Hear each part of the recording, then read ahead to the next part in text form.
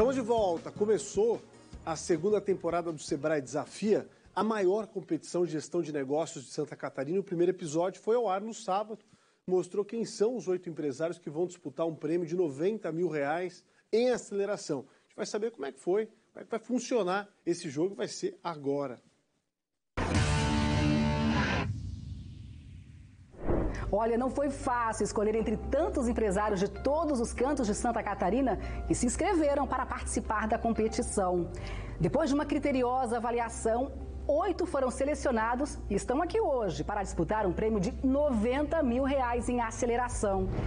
O Cleiton Strasberg de Blumenau é dono da Hightech Hospitalar, uma fabricante de produtos para hospitais, como camas, macas, poltronas. Ele vai representar o Vale do Itajaí no Sebrae Desafia. Dona da Natural Garden Joinville, empresa que oferece produtos, serviços e orientação nutricional, a Carla Roden foi a selecionada do norte do estado. Quem vai representar a Serra Catarinense é o Jimmy Arruda, da Jimmy Burger, uma hamburgueria de lajes há oito anos no mercado. A D de Guaragni foi a escolhida do Oeste Catarinense para o jogo. A empresária comanda a Diane Modas e a Diane Outlet, localizadas em Chapecó, que vendem confecção, calçados e acessórios. A missão de representar o meio oeste do estado é do Vinícius de Melo, dono da Eletriza Brasil em Caçador. A empresa presta serviços de manutenção e instalação de ar-condicionado, aquecedores, elétrica e energia solar. Na região de Foz do Itajaí, a selecionada para o Sebrae Desafia é a empresária Márcia Giacomossi, da Duda Maria Perfumaria, que fica em São João Batista e vende cosméticos e perfumaria.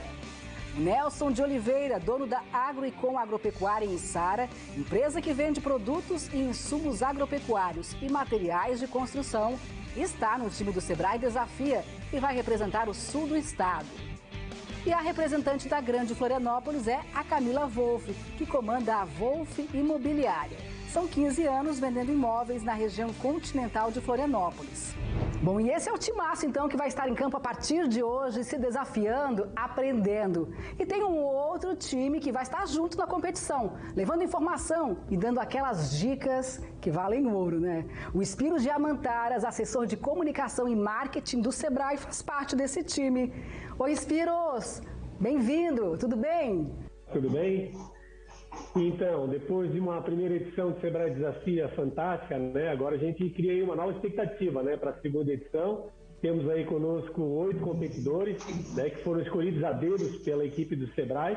A gente pode conversar antecipadamente com cada um deles e eu diria para ti, Rafa, que nós temos aí em cada um deles uma característica diferente que eu acho que consegue é, espelhar o que é o perfil do empresário catarinense e brasileiro, né? Então acho que isso vai dar uma boa pimentada é, no nosso Sebrae Desafio, a nossa segunda edição. O jogo começa para valer no próximo episódio, onde os participantes vão enfrentar a primeira prova e já vamos ter também a primeira eliminação. Veja como vai funcionar a competição.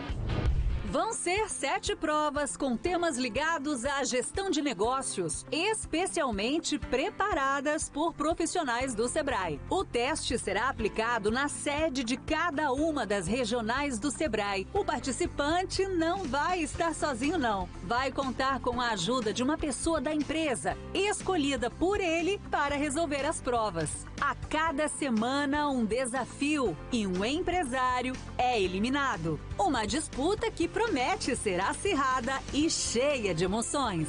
Quem vencer leva para a empresa o prêmio de 90 mil reais em aceleração. Vão ser 10 mil em dinheiro, além de consultoria do Sebrae e mídia na NDTV.